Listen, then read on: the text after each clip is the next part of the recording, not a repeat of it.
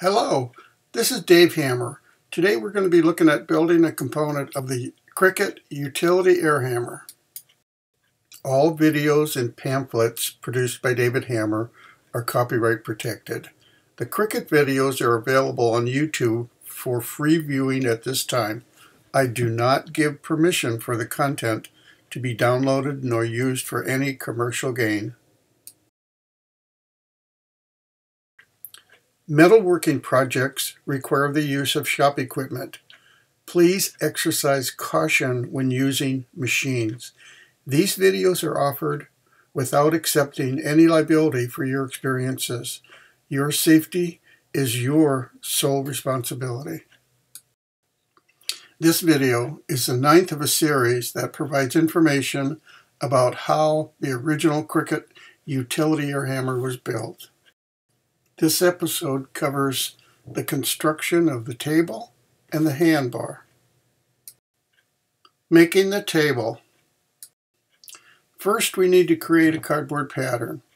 Use a piece of cardboard larger than the expected table size. The table should cover everything below it and have room for a style to fasten a skirt to to ensure scale does not get to the air circuit components and hoses.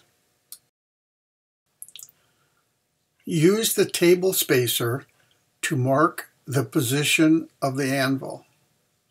The table spacer was made in the Installing Air Circuit Components episodes. This position should be about 3 quarters of an inch from the lower left corner. Be sure you square it up. This position is desirable to allow forging objects on handle from below the level of the dies. Mark the position of the bolt holes.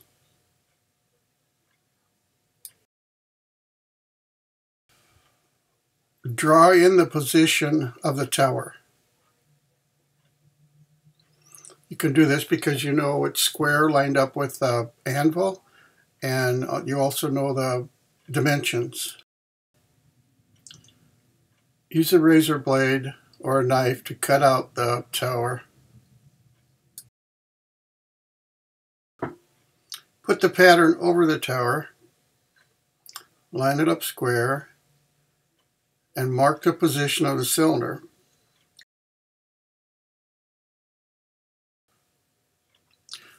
Cut that circle out as large as needed to accommodate what comes through the table with regards to the cylinder. Drill out the anvil bolt holes.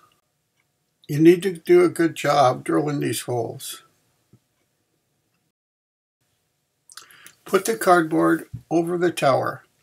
Bolt the lower die plate in place. Put the ram assembly, including the upper die, on the tower, minus the ramp dock assembly. This is what it should look like. Mark the position of the corner of the ram assembly. Draw the opening needed for the ramp dock assembly after the pattern is removed.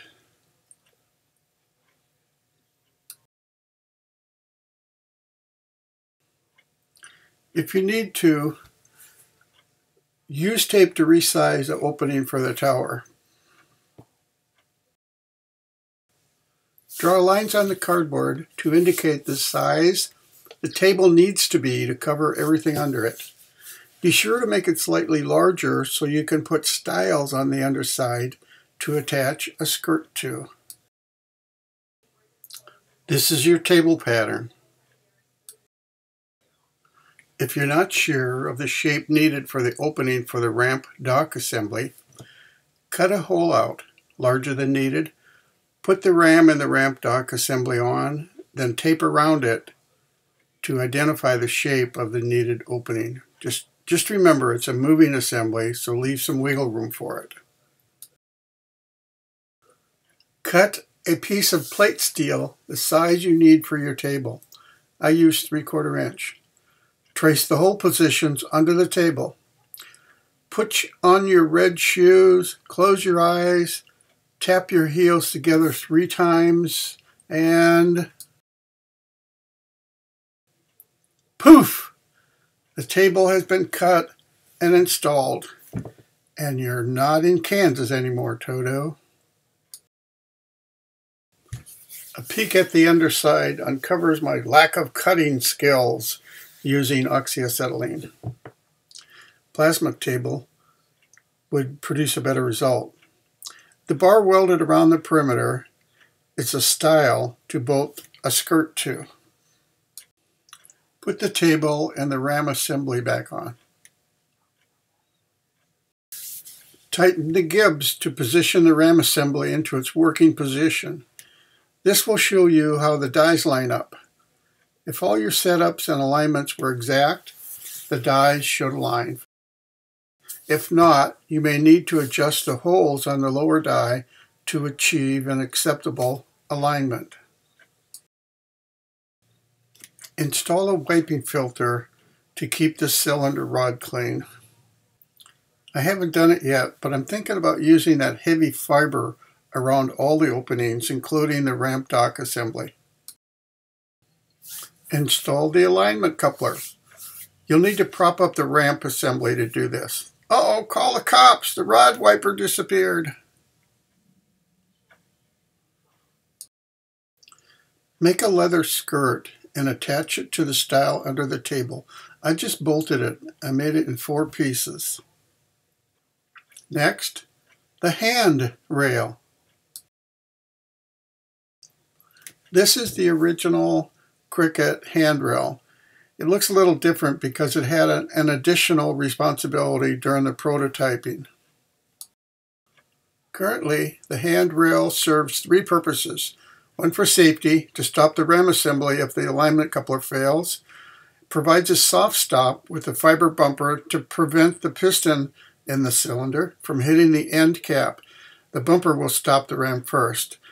Additionally, it's a steady bar to provide a handle for operators, old people like me, to steady themselves while forging.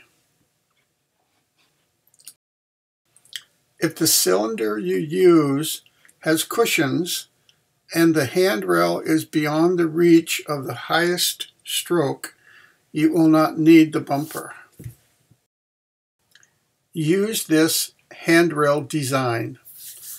Make an 8 inch square with half inch round, just bend and weld. Put a 3 by 3 of at least 5 16 inch plate in one quarter.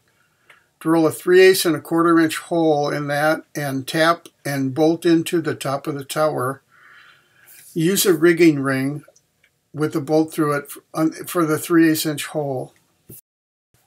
Use a piece of 3 quarter inch heavy fiber sewn to the plate on the underside over the tower to serve as the bumper. Only one more build episode. Yay! This is Dave Hammer.